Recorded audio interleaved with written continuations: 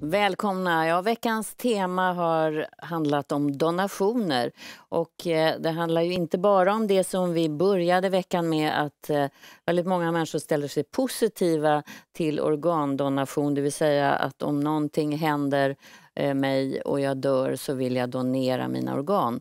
Och det där kan man gå ut på vår Facebook-sida så kan man läsa mer och vi länkar till hur man ska bära sig åt för att meddela sina anhöriga som är viktigt i så fall. Eh, men det handlar också om att man kan vara en levande donator, det vill säga att man hjälper någon som behöver ett organ. Och i det här fallet så är det en mycket gripande historia. Eh, jag har bjudit in Daniel, Daniel Grip. Tack så mycket. Och eh, du fick en liten brorson för några år sedan. Stämmer bra. Ja, och allt såg bra ut när William föddes. Från början så var allting jättebra. Mm. När upptäckte man att det var fel på Ville? Det var ganska snart som han fick eh, gulsot och väldigt gul i hyn. Och eh, efter ett tag där så, när det inte la sig, så upptäckte man då att det var någonting som var fel på levern. Mm. Och det var ett allvarligt fel och ett ovanligt fel, var det inte så? Ja, han har en diagnos som heter gallvägsatresi. Mm. Eh, Det är när gallblåsa och gallvägar är, saknas eller är missformade eller så. Så i hans fall så saknar han både gallgångar och gallblåsan Mm. helt och hållet. Det här är din brors son. Mm. Står du nära din bror? Väldigt nära. Ja, så du följde det här också nära? Ja, det gjorde hela familjen. Vi Ja. var ju, det var ju, sjukhuset var ens andra hem. Ja. Och då är det så att det är fara för Willes liv i det här fallet? Ja, det gick ju. Man försökte ju få ut gallan ur levern till tarmarna men operationen lyckades väl en vecka ungefär. Sen Mm. så ganska snabbt så sattes han upp på, på transplantationslistan Mm. och väntade på lever. Och det är ju många fått erfara, och inte minst anhöriga då, för Mm. Ville förstod inte så mycket själv. Den här väntan är ju väldigt, väldigt svår. Ja, du går ju dagarna i ändan och väntar på telefonsamtal att det har kommit en lever. Ja. Och det är, inte, det är ju inte många levrar det kommer per år. Nej.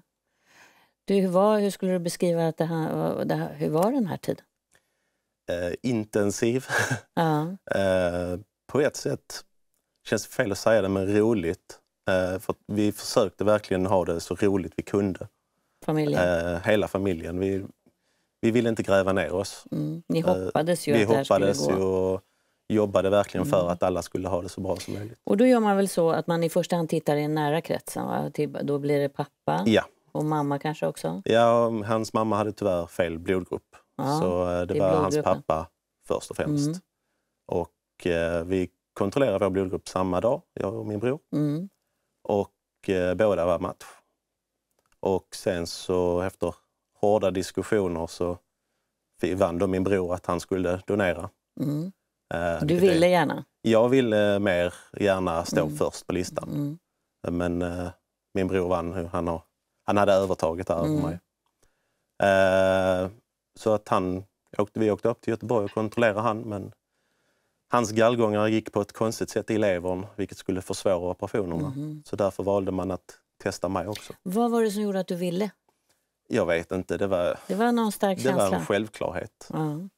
Det var Om liksom- vi tittar på en bild på Ville Mm. som eh, ser ut som, vi trodde han var alldeles nyfödd där, men hur gammal är Ville där? Det här är två till tre dagar, jag tror det är två dagar innan operationen, så han är lite mer än ett halvår gammal. Där. Mm. Och han ser väldigt, väldigt eh, liten ut. Ja, det var han också. Det var han också. Ut, förutom magen som man inte ser på den här bilden, den var väldigt uppsvälld. Mm.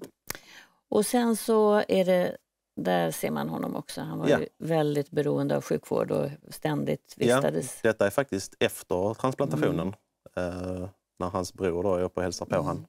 Om vi backar tillbaka då, för, så var det så att den första bilden vi såg, det var eh, före Det var dagen innan jag Eh, åkte. Några dagar innan. Hur gick det här till då? För ni, var ni inte på olika sjukhus? Jo, eh, jag åkte upp och lades in på Sahlgrenska.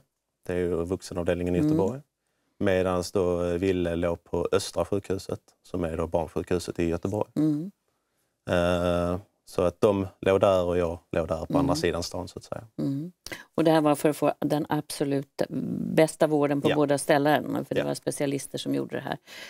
Och då tog man inte ut hela din lever, utan det Nej. som är fantastiskt med levern är ju att den växer ju Den sen. växer tillbaka, ja. Så hur mycket tog man? De tog 400 gram. Ja, och hur mycket vägde den ungefär, din lever? Vet du? Jag tror att de brukar ligga oh, det är svårt, 1,5 kilo eller lite mindre ja, kanske. Något runt ett kilo Ja. ungefär. Och hur påverkades du av det här? Då? Väldigt lite egentligen. Ja. Jag låg inne på sjukhuset i en vecka. Och sen åkte jag hem och var sjukskriven en månad. Mm. Sen hade jag i och för sig en månads semester efter det. Så att, Mm. Men sen... Alltså Fortsatte det, ditt liv som, Ja.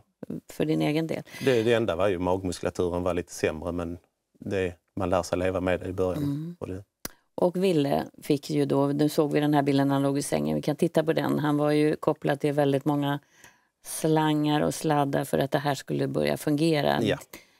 Hur känns det att se, Will, vi ska snart få träffa Ville, han har en bit av dig i sig som har gjort att han Mm. överlevde. stämmer. Det, vi räknar faktiskt ut att det är 4 procent av han. För hans totala vikt mot den vikten på levern han fick så är det Som 4 är du. procent. Vad känns, känns det? Det är svårt att sätta ord på. Det är liksom... Ja. Vi har ett band. Det Mm. Idag är du pappa själv till en åtta Ja. månaders en flicka eller pojke? det är en liten pojke som heter Liten Harry pojke. Harry. som sitter där hemma och tittar. Ja. Du, ska vi ta in Ville Ja. eh, här så ska vi se. Kom Ville. Ska du sitta bredvid Daniel här? Hej Ville. Nej. Hej. Såg du, det, såg du den där lilla bebisen på tv? Med alla sladdar och slangar. Och det var du. Ja. Hur mår du? Bra. Du mår bra. Hur många år är du då? Fem. Fem år? Jag sa sex år. Ja, du fyller ju sex nu till hösten i oktober. Okej, du är fem år. Mm. Då sitter du och tittar på dig själv där, va? Gör det? Ja. Eh, Men eh, vem är det här som sitter bredvid dig då? Daniel. Ja. Mm. Är han som en extra pappa kan man säga det? Ja. Du har ju en fin pappa, men, men ni, bor ni nära varandra? Ja, hyfsat. Ja, 15 minuter med bil. okej. Ni träffas mycket? Ja. Ja.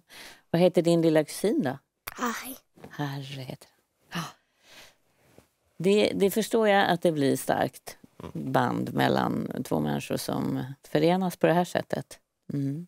Om, om människor eh, som sitter och tittar på det här funderar att man skulle hjälpa till på det här sättet. Vad skulle du säga är vinsten för dig? Det är uppenbart vad vinsten är för Ville. vinsten, vinsten sitter ju här för mig också. Mm. Det är att han kan sitta här idag. Det hade han inte gjort än. Nej, så att eh, för mig är det liksom... Det är, det är jackpotten. Mm. Det, vi har en bild som är tagen, du får ta den. Eh, vi har en bild som är tagen för ett år sedan. Mm. Och då eh, fick han ett återfall. Eh, Han fick ett litet bakslag där en gallgång kollapsade. mm, Eh, där hans värde steg i höjden och han blev inlagd och opererad igen och mm, mm, allting. mm. Du är, alltid du är glad. alldeles gul där. Du känner igen dig själv. Ja. Majskolv. Ser du ut så? Ja, en majskolv. Mm. Men eh, jag tänker också på att det som Wille gör som skiljer honom från andra det är att han äter mediciner. Ja. Och kanske måste göra det hela livet, eller det vet man inte. Det vet man inte där, Nej. men eh, Mm. antagligen så behöver han det.